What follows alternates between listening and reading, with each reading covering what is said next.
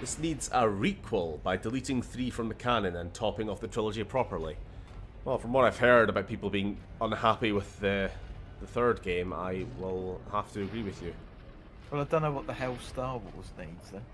It doesn't need a mercy kill, they just never need to do a film again. Honestly, my opinion when it comes to Star Wars at this point is that it is what for functioning so much better as serialized TV shows in any form, animation, live action. These these new anime ones that have been announced, this like anthology of uh, Star Wars Visions. I'm interested in that, even if it's not I'll canon. watch it. Yeah. Um, yeah, I just think the movies worry too much about having to be an event film, which means we have to play it super fucking safe because they only come out once every two years, and we need it to be a Star Wars movie, so check all the boxes, you know what I mean? They don't do anything safe. You need a- Uh, so they don't do anything that original, uh, and then the things they do do original are like the Last Jedi, which I think was I don't know. It was original, and to be honest, I will say, even though I'm not a fan of that movie, it was the best of the three.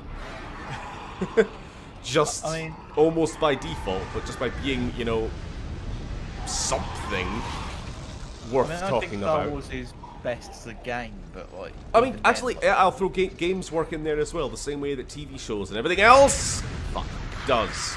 Um, side stories in the universe. It's such a big universe. It doesn't need to be about the fucking Skywalkers all the goddamn time. That's how you get Rise of Skywalker.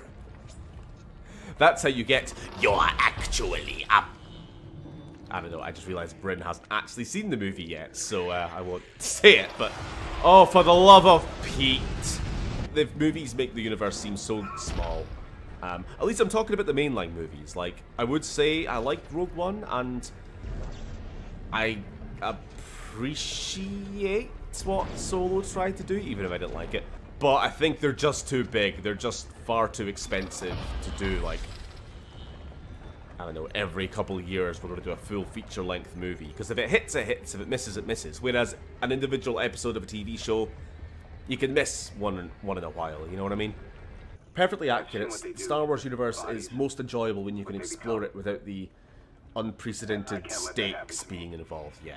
Yeah, loved The Mandalorian, but haven't got around to seeing the other series yet. We're just saying, like, Star Wars movies fo- focus too much on being like big spectacle, you know, tentpole movies, which feel like they kind of need to check a lot of boxes for what is a Star Wars movie. You must have galaxy-saving stakes. You must have super weapons. You must have Skywalkers. TV shows don't need to do that. TV shows can just explore any aspect of the universe. Like I'll take I'll take a fucking Star Wars TV show about like a cab driver on Coruscant or something. You know what I mean? I'll take I'll take a, a Star Wars TV show about like gambling, you know, like gamblers or something. I know like that's maybe too much like that Last Jedi casino nobody liked, but you know, ignoring that, like a New Vegas style casino heist Star Wars movie, uh, TV sh- show. I'll watch that. At least an episode. Foreign gambling addiction. Yeah, and you can experiment more. They don't experiment with the movies because they have to play it safe because they only come out once every two years and these cost a billion dollars. You know what I mean? Uh, Bryn says, I think one plot I would consider for an alternative to sequel films would be using a crime organization that somehow got inside the New Republic as the main villain.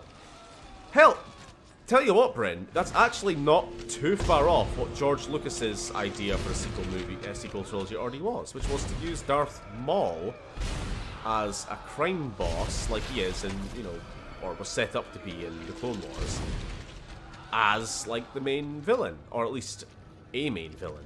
I don't think I've seen the last one, and the new ones I can barely remember, but the old ones are stuck. I almost appreciate the Rise of Skywalker, the last of the, the sequel trilogy. I almost appreciate it because it was so bad and so clearly nobody involved gave a fuck that it's kind of I feel like I've been let off the hook for having to consider the that trilogy like canon or worth a damn in any way. You know what I mean? Like if nobody involved cared, I no longer have to, and it's almost refreshing now.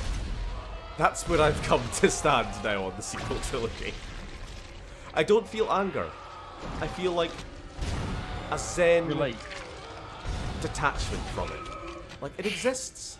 It exists as much as like any furry fanfiction Star Wars edition exists. Like the way I was kind of describing this to somebody else was like the Lord of the Rings trilogy. I love the Lord of the Rings, everything about it, you know. And I, I those movies they were so well made and with such love and like they hit the landing, they hit the setup, they hit the middle, good all the way through. They could announce now that like um, Michael Bay has gotten the rights to the Tolkien estate, and he's going to make his own vision for a sequel for a sequel trilogy taking place after the events, and it's going to involve a new character called Michael May, who um, discovers that the ring wasn't actually destroyed, and that he is now going to take it upon himself to save the world because he's better than Frodo and everybody else. Um, and also, he's going to have a fist fight with Sauron, who turns out never actually died. Uh, somehow, Sauron has returned. You know. Uh, whatever. A complete hokey trash movie.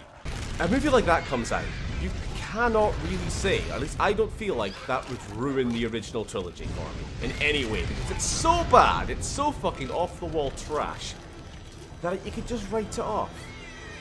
You don't even have to think about it anymore. Compare that to somebody like coming along and being like, "This is the actual like Tolkien vision. We we found some books that he had written but unpublished, and we're going to make a movie out of it." And it's just kind of bad. It's just kind of shit. That would be more of a disappointment than a movie that's just so bad that you don't have to give a fuck about anymore. About anymore. That's how I feel about the last, uh, the last Jedi, the the Rise of Skywalker. Long tangent, I know, but whatever. Something, something, the sequel. Yes. What's that? I hope Disney gains a mere modicum of sanity and declares the sequel's non-canon. They'll never do that because they'll feel like it's admitting defeat. Or they'll get accused of like kowtowing to like the entitled fanboys or something, you know? Like the people who just don't like it because Rey's a woman. You're giving in to the misogynists or something. You know what I mean? You know what I mean? They're probably just gonna like quietly stop mentioning it.